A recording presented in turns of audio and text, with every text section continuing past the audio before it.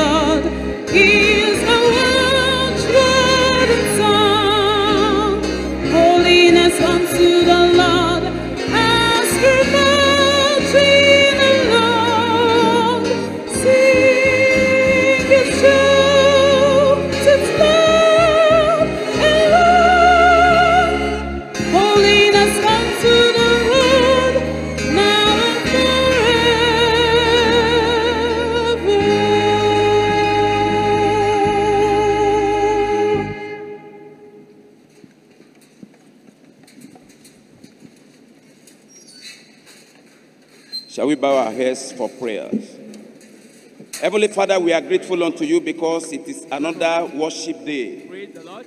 And we are come to the class to search your word, as you have said that we should come to learn at your feet this morning.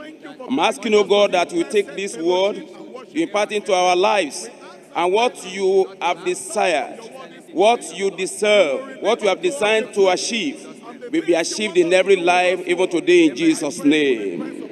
In Jesus' name, we have prayed. Actually, we are back in our New Testament studies. But morning we're looking at last Sunday. We learned from There is no one like the Old Testament study Echo it together. on rebuilding the walls of Jerusalem. echo it again. One to go. From our study, holiness. we saw the burden The grace of God of was Nehemiah building for the wall. recovery of Jews in Now we distress saw that and for the Nehemiah building the of broken walls of Jerusalem committed themselves to translated building into the action. It was like attended and eventually achieved. We are to awake to the responsibility of rescuing and rebuilding lives that are marred and ruined by sin and Satan. That is the responsibility of the church. We also learned that one heart, one mind, and a team spirit are needed to prosper in the service of our great King, that is the Lord Jesus Christ. We should also be determined to overcome and accomplish in the gospel works in the face of many um, multiplied oppositions. This morning, we are coming to our third scripture, lesson 903, and the topic is the call to holiness. Shall we say it together, please? The call. Lord will bless us in Jesus' name. Now, we our memory verse is taken from the book of First Peter chapter 1, verses 15 and 16. If there is any volunteer who can take the memory verse, any volunteer from the from the church. From the chapter class here. Who can uh, recite the memory verse for us? Yes, the our memory sister there. verse. Yes, brother, you can come. Our memory verse, First Peter chapter 1, 15 and 16, where Pastor Stephen Mene prepares to take our test. We are reminded that But our I body say- is the temple Let's listen to the recitation. Solely. So be ye holy in all manner of conversation, because it is written, Be ye holy, for I am holy. First Peter chapter 1, verse 15 and 16. Thank you very much. God bless you. Text is taken from First Peter chapter 1. Quickly, let's take it from First Peter chapter 1, 13 to 25. First Peter chapter 1, verse 13 to verse 25. Very smart student and very fast. Please, can you come up? chapter 1. First Peter chapter 1, verse 15. and First Peter chapter 1 First Peter chapter 1. From verse 13. First Peter chapter from verse 13. come and recite from verse verse. 13 to 25. Wherefore, guard Up the loins of your mind. Be sober. Be sober Hope to the end for the and grace hope that is to the be end brought unto you at for the grace revelation that of Jesus to Christ. be brought As unto obedient you children, not at the fashioning revelation yourselves of Jesus according to the Christ. former lust in As your obedient ignorance. children, But he which hath not fashioning yourself according to the in all manner of former conversation. lust in your ignorance. Be holy, for But as he which hath called you is holy, If ye call on so be ye holy in all manner of conversation, because it is written, work. Pass the Be holy, for I am holy. And if ye call on the Father, who without respect of persons judgeth according to every man's work, pass this time your sojourning here in fear. For as much as ye know that ye were not redeemed with corruptible things as silver and gold from your vain conversation received by tradition from your fathers, but with the precious blood of Christ, as of a lamb without blemish and without spot, who verily was foreordained before the foundation of the world, but was manifest in these last times for you, who by him do believe in God, that raised him up from the dead, and gave him glory, that your faith and hope might be in God. Seeing ye have purified your souls in obeying the truth through the Spirit unto unfeigned love of the brethren. See that ye love one another with a pure heart fervently, being born again, not of corruptible seed, but of incorruptible, by the word of God, which liveth and abideth forever. For all flesh is as grass, and all the glory of man as the flower of grass. The grass withereth, and the flower thereof filleth away. But the word of the Lord endureth forever. And this is the word which by the gospel is preached unto you. And may the Lord bless His word in our hearts in Jesus' name. In our first study in this chapter, Apostle Peter began to write this epistle to the church that was scattered and suffering for the faith, and that, is, that was throughout the Roman provinces of Asia Minor. It was giving them comfort and hope and urging continued loyalty to Christ in spite of their situation. He reminded them that as strangers and pilgrims, their. Christian pilgrimage To make heaven, was in a world that is for us to hostile to Jesus, to Jesus Christ, life that is devoid from which they should expect persecution and opposition. and a life of love In verses 10, 11, and 12 of, uh, why we're looking at this uh, this chapter, he mentioned the uniqueness and described the for him to preciousness live life that of the revealed salvation life that is sober, they already had, which even If you look angels at 1 desired Peter to see. In response to that great and unparalleled salvation, he now commands us, fruit through the Number one, to be spiritually and mentally alert in the face of Christ's imminent return. love one another Number two there. To live holy lives. Number three there, a pure heart, to reverently fear and trust God, this verse we are going to look at this to morning demonstrate is to us unpretentious that we must love towards one another. we'll look at three points To as we go through esteem highly the, the infallible word of God. above the present passing In 1 Peter chapter bubbles of life. 13 Sanctification to 16. involves First a Peter holy chapter encounter 1, with God. verse I pray 13 that we to shall all have that verse encounter today in 16. Jesus' Let's look at name. it together. God's Therefore, awesome guide up desire the loins of and your design mind, to transform sinners, and hope to the transformation end process, for the to grace transform sinners into saints to be brought unto is what necessitated what we are start, uh, studying this morning, which is the call to holiness. Question somebody from the choir. What is holiness? And how can one obtain the experience? What is holiness? And how can one obtain the experience? Somebody from the choir. manner of conversation. Yes, somebody from the choir. verse 15. What is holiness? And how can one obtain the experience? Holiness is purity of heart. And uh, after salvation, one will pray and then obtain holiness. Thank you very much, sir. Holiness is the attribute of the Godhead. Holiness, the, the quality, the characteristic of God the Father, God the Son, God the Holy Spirit. And that is why, even in the Old Testament, during the days of Isaiah, the angels, they sang, they said, Holy, holy, unto the Lord God Almighty. In the New Testament, in Acts of the Apostles, chapter 4, when the apostles were praying, they revered and they were praying to God, mentioning what the people were gathered together, the Pontius Pilate and others, against thy only child, Jesus. In the same New Testament, in the book of Acts of the Apostles, chapter 2, the Holy Ghost, Holy Spirit came. Holiness is the goal and purpose of election in Christ.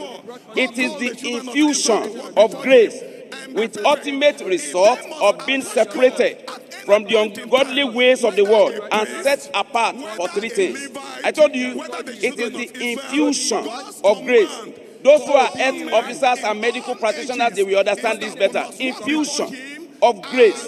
When the grace of God has entered, the result will produce these three things I want to mention. Number one, it will produce love. Hear, O Israel.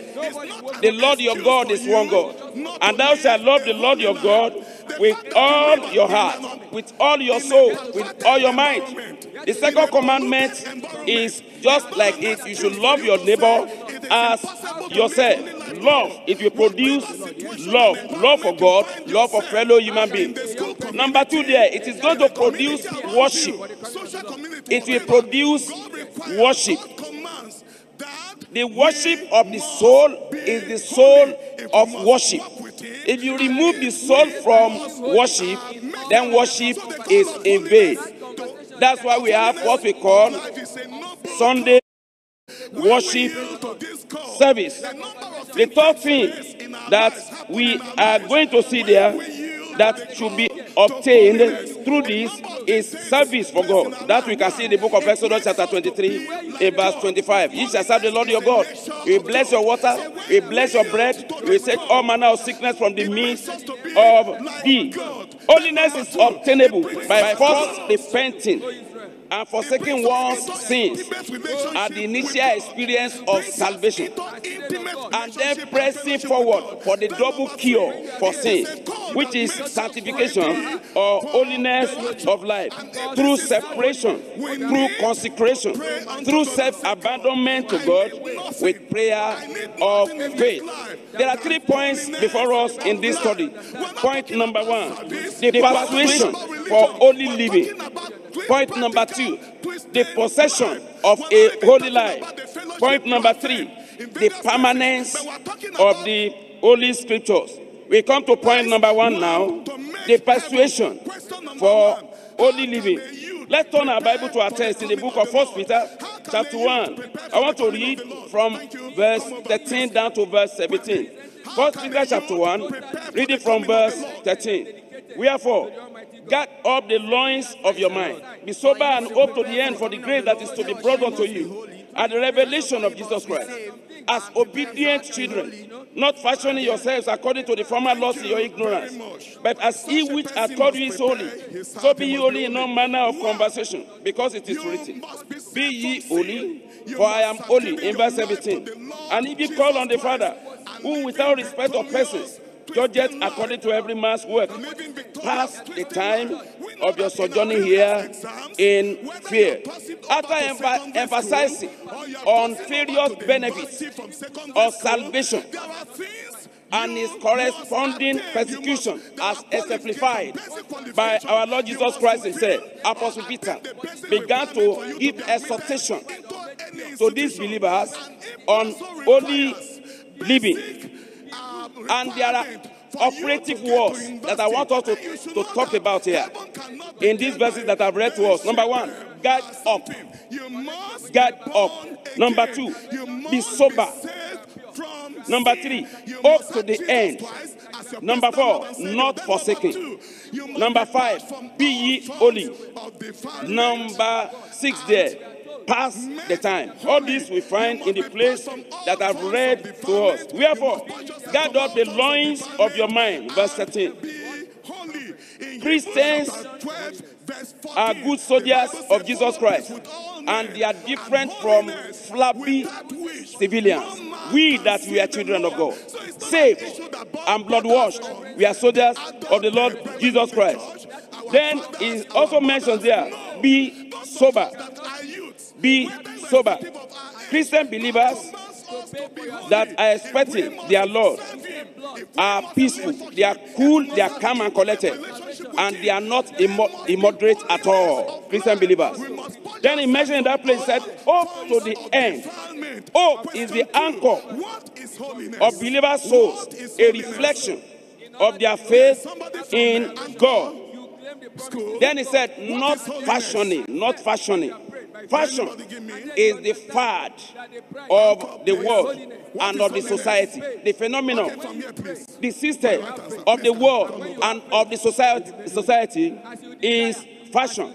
But God is looking for separators and not mixers. That's why He said, Come out from among them. Come out from among them. You must not mix with the world. You have to separate yourself from the world. Then it tells us that, that be ye holy. Whatever that is true of God must become true of his children. Holiness is the sum total of all Christian virtues. It's a long life, lifelong experience of holiness. It's God's standard. Holiness is the sum total of all Christian virtues. All Christian virtues. Holiness is the sum of it. Then if you look at that verse 17, and if ye call on the Father, who without respect of persons judged according to every man's work, pass the time. Pass the time. That word pass is noteworthy. It's talking about passage. We are here. We are not to remain here forever. We do not have a continuity here, but we seek the one to come. And since we are pilgrimage on pilgrimage, and we are strangers and sojourners in this world, pass your time. It is a passage. It is a passage. We have to fear God. We have to reference God and to reference His word. In the book of Leviticus, let's open to the book of Leviticus. In Leviticus chapter 11, I want to read 44 and 40, 45. In Leviticus chapter 11, reading verses 44 45. For I am the Lord your God, ye shall therefore sanctify yourselves, and shall be holy, for I am holy. Neither shall ye defile yourselves with any manner of creeping things that creepeth upon the earth. For I am the Lord that bringeth you up out of the land of Egypt. To be your God, ye shall therefore be holy, for I am for I am holy. If you have read the entire passage before, you see that it has dwelt on what to eat, what not to eat, before you come to these uh, verses of uh, the scripture. These two verses are more to the whole chapter than eating right or not eating right. God knew that the redeemed Israelites had two options. Number one option, to be separate and holy, or two, to compromise with their hidden neighbors and become corrupt. I pray that the Lord will deliver us from the corruption of this world in Jesus' name. Now, question: What is why is holiness necessary for believers? Why is holiness necessary from for believers? From this, yeah, can I get somebody here? Yes, my brother. Why is holiness necessary for believers? Why is it necessary for believers? Holiness is necessary for believers because without holiness, we cannot be saved. Thank you very much. Hebrews chapter 12, verse 14. The Bible says, Follow peace with all men and holiness, without which no man, no one shall see the Lord. It is an indispensable condition for living for God here and living with Him eternally. Point number two the possession of a holy life. The possession of a holy life. Now let's move away from theory and let's come to practical. Because everyone in this class who has not been sanctified, who has not got that nature and the attribute of God, you will not miss it this morning in Jesus' name. I said you will not miss it in Jesus' name. Let's open to our text. First Peter chapter 1. I want to read from verse 18 down to verse 23. First Peter chapter 1, reading from verse 18. For as much as ye know that ye were not redeemed with corruptible things as silver and gold from your vain conversation, received by tradition from your fathers, but with the precious blood of Christ, as of a lamb without blemish and without spot, who verily was foreordained before the foundation of the world, but was manifest in these last times for you, who by him do believe in God that raised him up from the dead and gave him glory, that your faith and hope might be in God. Seeing ye are purified your souls in obeying the truth through the Spirit unto unfailing love of the brethren. See that ye love one another with a pure heart fervently, with a pure heart fervently. Verse 23 being born again, not of corruptible seed, but of incorruptible, by the word of God, which liveth and abideth forever. The possession of a holy life. Apostle Peter was very specific about the various processes involved in the redemption of mankind. His submission, the submission of Peter the Apostle, that we need to be holy, that we must be holy, as our Heavenly Father who has called us is holy. That fact, well, uh, we see that the submission called the fact that all persons of the Trinity participated in the work of salvation. All persons, God the Father, God the Son, God the Holy Spirit. In Titus chapter 3, let's open to the book of Titus in chapter 3. I want to read to you from verse 5. Titus chapter 3, reading from verse 5. Verse 5 says, Not by works of righteousness which ye have done, But according to his mercy, he saved us by the washing of regeneration and renewing of the Holy Ghost and renewing of the Holy Ghost. Unlike modern day preachers and charlatans, he stated that silver and gold are worthless regarding redemption of souls. This assertion of Apostle Peter is buttressed by a songwriter. that was a songwriter that lived long ago with no biological information. His name, Shaman Long. In his song titled, If Salvation Had Not Be Free. I want to read just one stanza out of his uh, song, this piece to you with the refrain. If the price of salvation we are not silver, we are silver and gold, all the poor of this world will be lost. But the Savior who loves us in mercy, we are told, pay the price on the cruel cross. Oh Lord, oh Lord, what could I have done if salvation had not be free? God so loved the world, he gave his only son, thus making a way for me. It is the precious blood of Christ, a lamb without blemish and spot, that grants redemption. Question Mention some good deeds that are worthless to the salvation of man. I need somebody from this place. Mention some good deeds that are worthless to the salvation of man. A volunteer from here. Yes, there's somebody there. Towards the back there. Okay, thank you very much. Giving Mention of, some good deeds that are worthless to the salvation of man. giving of alms, Giving of alms. You have mentioned one. Then do we have an, another person who wants to contribute something? Yes, my brother. Some good deeds. No matter the situation, you can't buy salvation with money. What people do today, they pay tithe and offering, and yet they are not saved. They are not careful about that. Say another person behind, behind you, my brother. There's somebody behind you. Some good deeds. The use of money, like paying payment of tithes in the church and uh, giving alms so that uh, people may know that uh, you are a Christian. Thank you very much. Religious efforts, philanthropy, and piety. There are people, if they want to enter the church or if they enter the church, they do the, they do the sign of the cross. If they face the altar, they do the sign of the cross. If they leave, if they move away from the altar, they do the sign of the cross. And there are people that can dress modestly, but they have not been saved. They have not been delivered. But today is the day of the deliverance from sin in Jesus' name.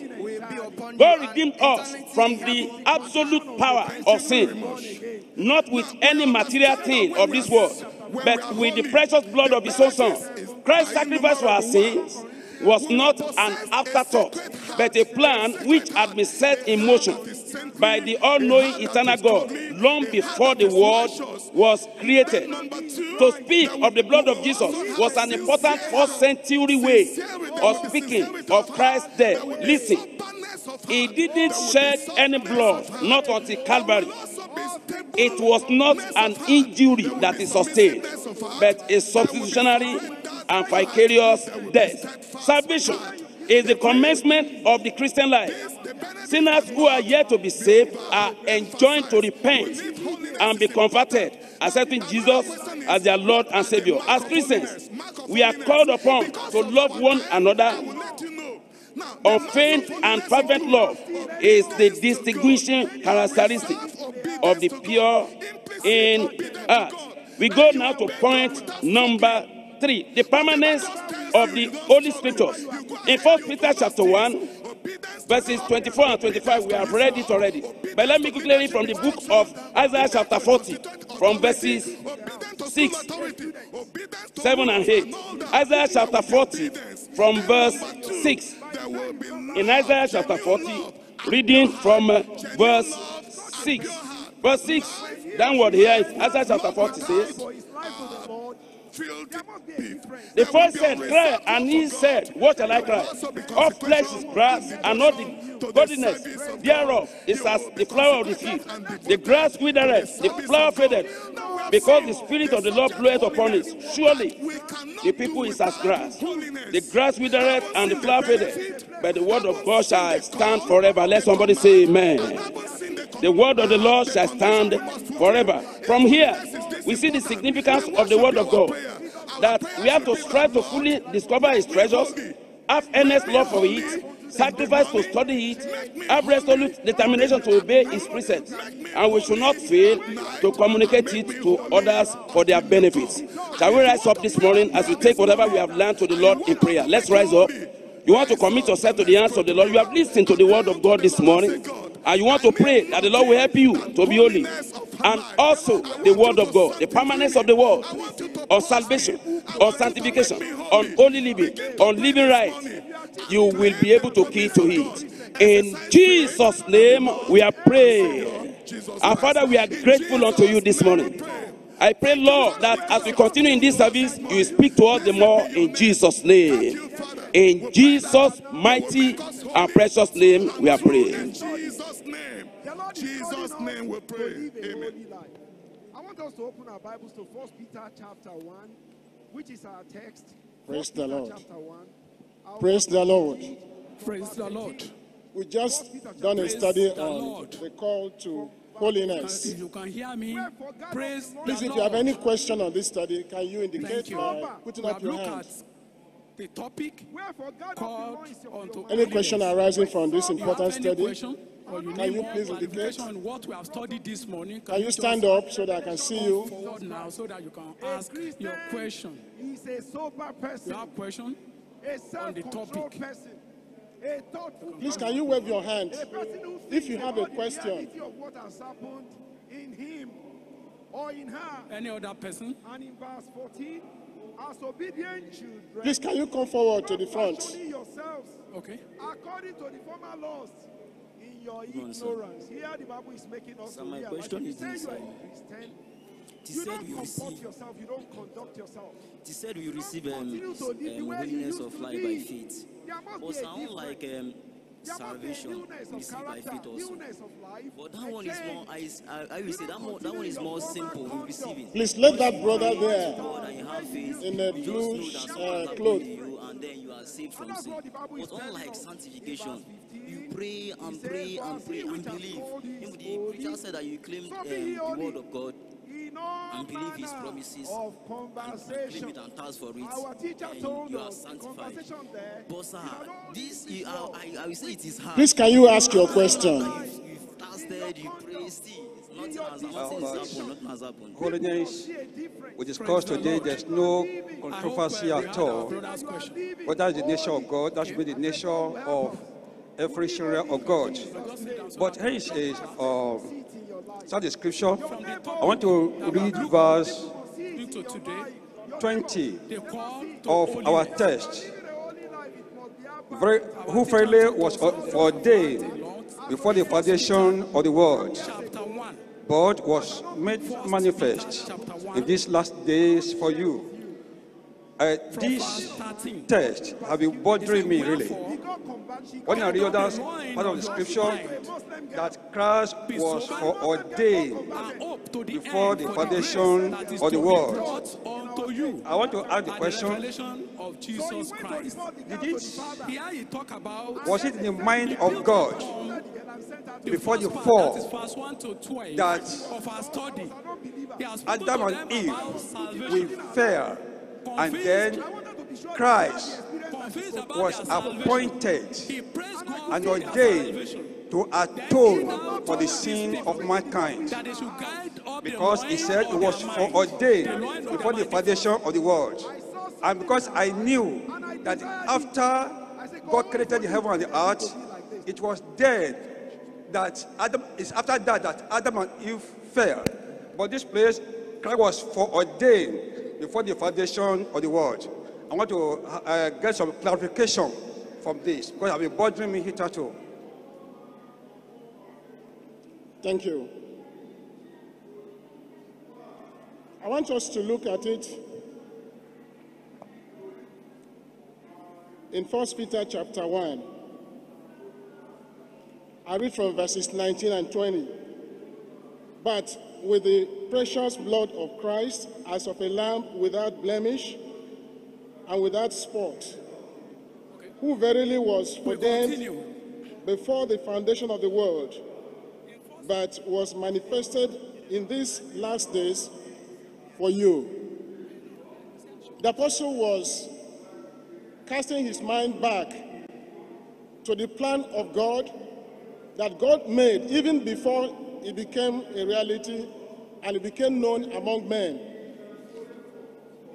In this particular text, if you look at verses 9 and verses 10 and 11, of which salvation the prophets have inquired and searched diligently, who prophesied of the grace that should come unto you, searching what or what manner of time the Spirit of Christ which was in them did signify, when it testified beforehand the sufferings of Christ and the glory that should follow. What the apostle is trying to teach us is that, like our teacher pointed out when he was teaching, that our salvation was not an afterthought. It's not something that God did not plan for from the very beginning. God ordained Christ long before Christ was manifested. The relevance of Christ was there, even in the Old Testament. That's why we read in verses 10 and 11 that the prophets that were of the Old Testament, they knew there was a promise of a Savior. But they were not sure when or who or how it would come about. They were searching even their own writings, and the Spirit of God in them was making inquiry as to when will this come to pass. So when we read these things, it tells us about the mind of God concerning us. From the beginning, and even before the beginning, God had ordained that we should live with Him. And God made a plan for our salvation before it was manifested. In His omniscience, long before the time of the creation, God knew that this would happen, and God had planned a solution, and that solution is in Christ. And that is why there is no other way, and there's no other means whereby we can be saved. We cannot depart from that long for ordained plan of God. The only way whereby we be saved as ordained by God Himself. The important thing for us is to understand our salvation is so great. It was planned because of its great importance, and we cannot neglect it. Look at the personalities that are involved. The prophets of Old Testament, they were involved. The Spirit of Christ in them was involved. The Holy Spirit was involved. God Himself was involved. That's why the Bible says, How can we escape if we neglect so great salvation? To answer your question precisely, yes. It was in the foreknowledge of God that Christ would be needed for our salvation. And so he foreordained that Christ would come to save us from sin. That's why you see that as soon as sin came into the world, in Genesis chapter 3, verse 15, God did not have to go back to heaven to consult or to think, what will I do now that sin has come to spoil the whole arrangement? On that very place, that very moment, the promise of the Savior was given. Then it took a long time before that promise was manifested. So that promise of the Savior had been the eternal counsel of God. The love of God has been there for us. The mind of God is that we will not perish. He has provided for it. What is left for us is to embrace it because Hebrew chapter, please turn with me.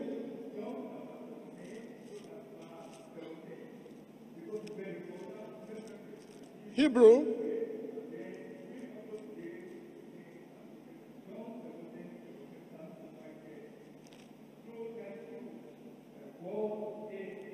chapter 2. I want to read from verses 1 to 3. Therefore, we ought to be, we ought to give the more earnest heed to the things which you have heard, lest at any time we should let them sleep. We ought to give attention to the things we have heard this morning, lest we forget and we, we are carried away and we forget the importance of holiness in our lives. For if the word spoken by angels were steadfast, and every transgression and disobedience received a just recompense of reward, how shall we escape if we neglect, discard, disregard, make of no value so great salvation, which at the first began to be spoken of by the Lord, and was confirmed to us by them that had him. So all this is putting, uh, putting it together that God has loved us from eternity. Our salvation is so great and so important to God that He provided for us long before the need became real. And so, on our part, we see the gravity of the danger in which we live if we make or trivialize this great provision that God Almighty provided right from the beginning. I pray that the death of Christ will not be in vain in the life of any one of us in Jesus' name. I will still take another question. Please, any other question? Can you just come up? Yes. Good morning, sir. The question comes from our memory verse. First Peter chapter 1, verses 15 and 16, which says that we should be holy in every in every manner of conversation. Every manner of conversation. Now comes to Philippians chapter 3. Coming to Philippians chapter 3. He says, For we are the circumcision which worship God in the spirit and rejoice in Christ Jesus I have no confidence in the flesh. Comes verse 20. He says, Come verse 20 says, For our conversation is in the heav- is in heaven, from whence also come look for our Savior the Lord Jesus. Now my question is, about three days ago, I went out for visitation and evangelism. I came across a woman. When I asked of her, how is this woman? They told me that she's a widow at the age of 45. I encouraged her, exhorting her that he should get married because he's still young. Another woman came and intervened, giving all sorts of excuses, excuses, excuses, that she can do whatever she like. And this woman said that she's a Christian, she's born again. As I look at her, she's not born again. But I was trying to encourage her to give her life to Jesus before you take the decision of getting married again. But the second woman came and discouraged and saw all sorts of things. Now, again, in the book of the same uh, Colossians chapter 3, verse 16 says that we should admonish one another. Colossians chapter song. 3, verse what, please? Now, what I'm trying to say, uh, what I'm trying to ask is that all these type of people, there are many Christians today, especially women, they indulge themselves in all sorts of conversation, which are not ungodly, which are go- ungodly. This type of people, I come across around them, I come across them mo- most of the time. I always encourage them. This is not the way that you Christians should converse. This is what the Bible says about our conversation. Now, they will always give me opposite uh, answer. This type of people, how are we to handle them? This is my question. Usually, when we want to ask a question, because of the shortness of time and the importance of the subject matter, we need to put everything in a concise, understandable manner so that the answer that is given will also be understood in the light of the question itself. The when we tell a long story, it, it doesn't help us to have a grip of the important things we are studying here. The expectation of the Lord is that we will live a standard of life. Holiness is what defines the life of a child of God. The lifestyle and the conduct of a child of God is known by the presence of holiness in that life. And this is important because the God that we are relating with, with whom we now have a relationship, father son relationship, himself is holy. Two cannot work together except they have agreed. Amos 3:3. 3. Therefore, our new walk with God makes it mandatory for us to have the holiness character in our lives the moment we are born again. That's the essence of the new birth. If you are born again today, you must live holy life from today. You don't need to wait for anything else before you begin to live a holy life. But you also know that sometimes after the new birth, there seems to be a struggle between you and what is right. So you begin to see the need for a second experience, which is what we call sanctification. Sanctification can be defined in many ways. One way I can define it is having perfect love for God and for fellow men. Now, many of us have not attained that level of love. And I must say that that level of love is not something we can conjure up by ourselves. It is something that God will grant us as we desire it and pray for it. As in many of our experiences, this, the, the, the character of holiness from the heart has two parts the divine part and our human part. And the two must be brought together for the experience to become real. On our own part, as men, the Bible tells us, Romans chapter 12,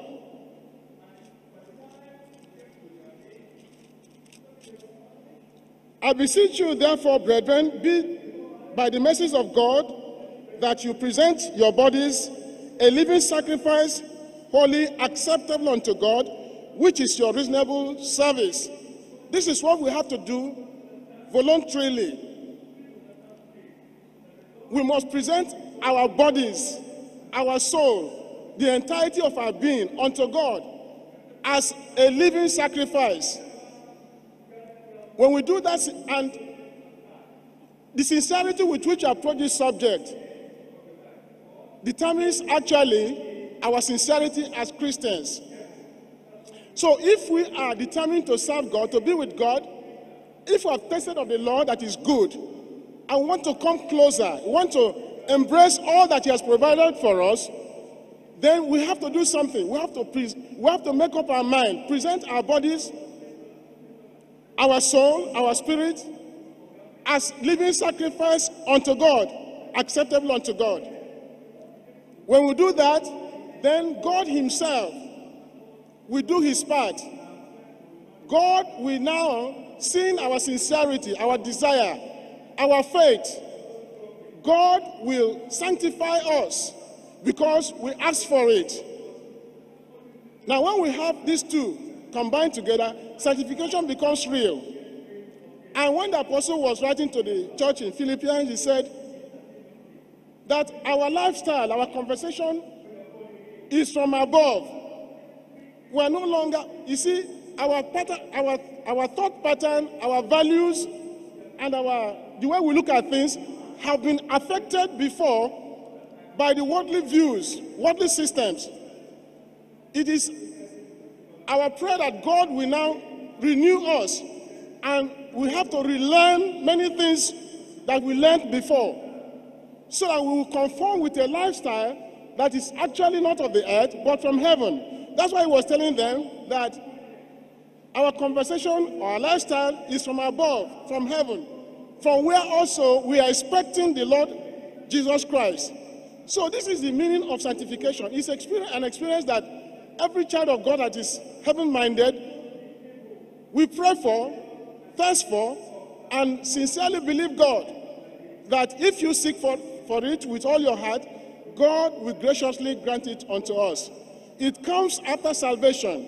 After we have been born again, then we now want to be completely sold, completely given over to God, reserving no part of our being as a living sacrifice. Want to give our give our whole life to God. If God knows that we are, this is our desire, He will grant it us. And I pray that this morning, if anyone is not yet sanctified, the problem with not being sanctified is that you are struggling. Your nature is still fighting against the new nature. But the moment you allow God to take control, there will be peace. And you find yourself doing the will of God with such effortless ease that brings peace and confidence to you as a believer. That's why this subject is very important. It's not a subject we will just gloss over and we go from the service and forget. We want to make heaven, but we're still on a journey. Anything that will guarantee our successful end must be pursued with vigor. And one of them is this experience of sanctification. I pray that God will grant it unto us in Jesus' name. Let's bow down our heads to pray. Father, we thank you for the study this morning. Thank you for exposing us to your will, your perfect will, gracious and loving will for us. Lord, I pray this morning, as many of us have been afraid,